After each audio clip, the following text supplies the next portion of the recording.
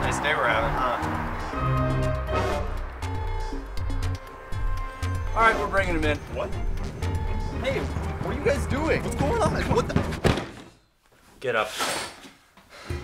Where am I? Who are you? I'm the one who's gonna be asking questions around here. Want some more? Yeah, it'd be nice. In case you wanted to know, I'm Detective Kruggs. This is Detective Mesuvius. I'm bad, he's worse. Any other questions? Um, where am I? I'll be the one asking the questions around here. Got it? Jank Frankins, Why don't you tell us why we're here today? You abducted me while I was at the bus stop. Try again.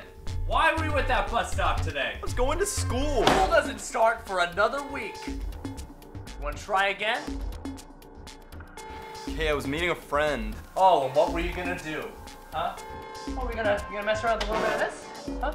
Wanna, don't you tell me what that is? It's my breakfast. The only reason it's crushed up like that is because it was in my pocket. Are you gonna take your friends, sell that to somebody? Sell it, it's cereal. This is worth nothing. Write down uh, subjects high on life. Got that? All right, next question.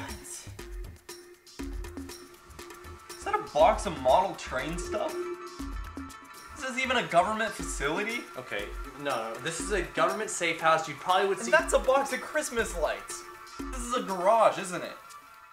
Yeah, we're we're in a garage. So what am I really doing here? I just got one last question for you.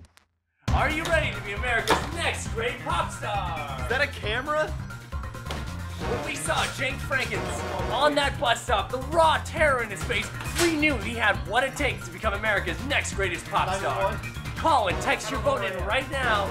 We could go to jail for this. Stop telling me to calm down.